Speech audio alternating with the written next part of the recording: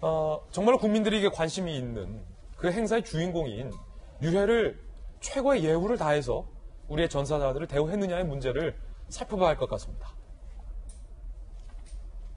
일단 많은 국민들이 지켜봤던 그 장면은 어, 마치 생생하게 유해가 하와이에서 날라와서 도착해서 비행기에서 내려오는 듯한 그 장면은 연출이 됐다라는 것은 많은 분들이 좀 아시, 아시고 있는 상황인데 자, 정부는 고향에 돌아온 영웅들에게 최고의 예우로 대했다라고 말했습니다. 그런데 24일 도착한 참전용사 유해 147구가 서울 현충원이 아닌 항공기 안에 하루 동안 어, 대기가 돼 있었다는 거죠. 정부 소식통은요. 중앙일보 기자에게 본 행사가 다음날 열릴 예정이라면 현충원에 임시 안치하는 게 예법이다. 유해를 예우한다면 현충원까지 안 가더라도 서울공항 안에 임시 안치소라도 만들어서 모셨어야 했다. 이 70년 만에 대한민국 땅으로 돌아오는 것 아니냐. 하루를 대기하더라도 예우를 갖췄어야 했다. 라는 지적이 나오고 있고요.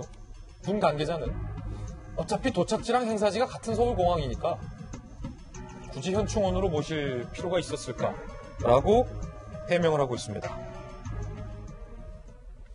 야당에서는 이 부분과 관련돼서 강력하게 비판을 하고 있습니다.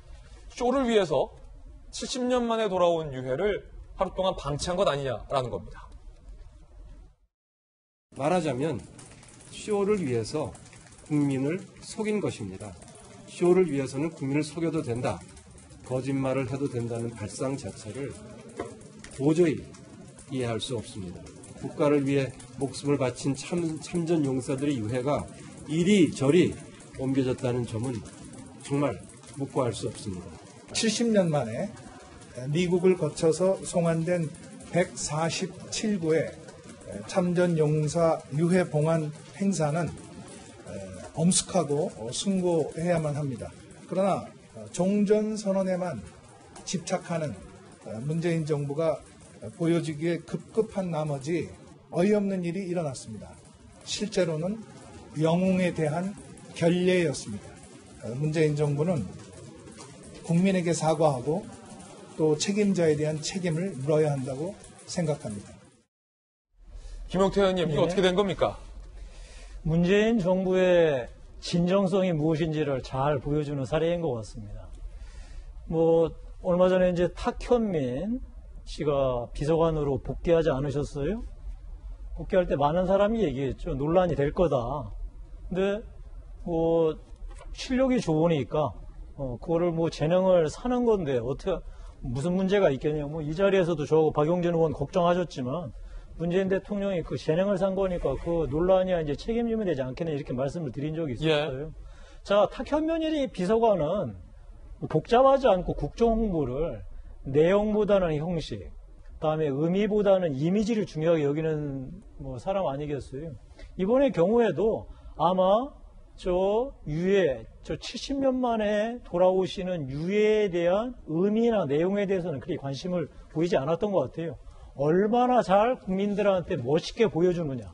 이거에만 관심이 있었던, 형식과 이미지에만 관심이 있었던 거죠.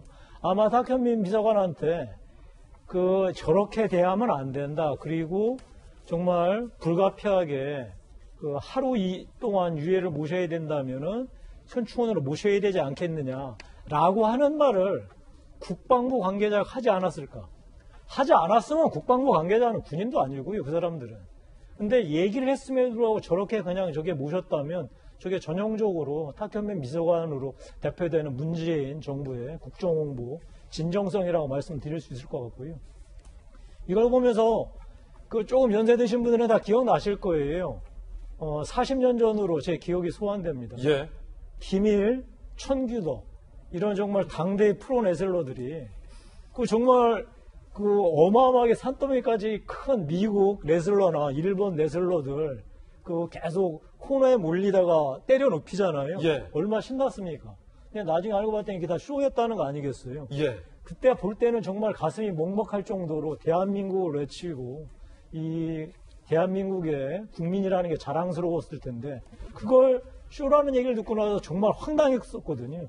아마 이번 이 이, 유, 이, 유의 이 봉환 이 행사가 실제로는 저런 상황이었구나를 국민들이 아시고 나서 그 40년 전에 프로레슬링 쇼처럼 어떤 국도 여탈감에 시달리지 않을까 싶습니다. 예. 김용태 의원님의 어쨌든 개인 견해인데 박용진 의원님, 에이 설마 정부가 이 전사들의 유해를 그렇게 대하지 않았겠죠? 그 전날 도착했을 때 대통령이 바빠서 못 가신 거고 국방부 장관이라도 가서 예를 다해서 맞이했겠죠? 그리고 비행기 아니더라도 정말로 정중하게 임시 안치소에 준하는 예우를 갖춰서 하룻밤 잘 모셨겠죠? 그냥 방치하지 않았겠죠? 뭐 저는 당연히 그랬을 거라고 생각을 하고요.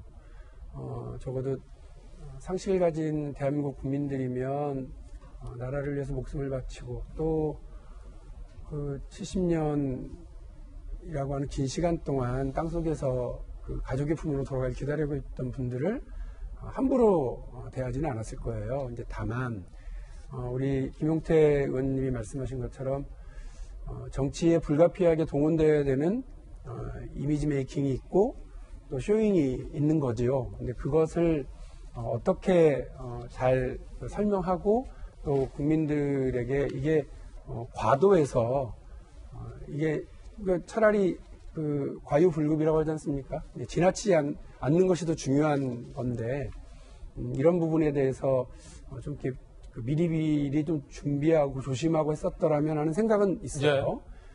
어, 저는 뭐 아직도 기억을 하고 있는데 2003년도에 노무현 대통령이 어, 제주에 가셔서 4.3 항쟁 희생자들에게 어, 진심 어린 사과를 했어요. 그건 완전 눈물바다였었던 걸로 기억을 합니다.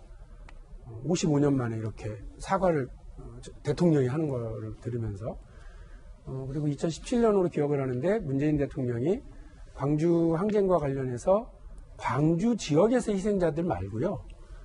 광주 항쟁의 진실을 밝히라고 요구하면서 목- 어, 희생된 분들의 이름을 막 그 한 분 한 분 불렀을 때 또 눈물바다였어요.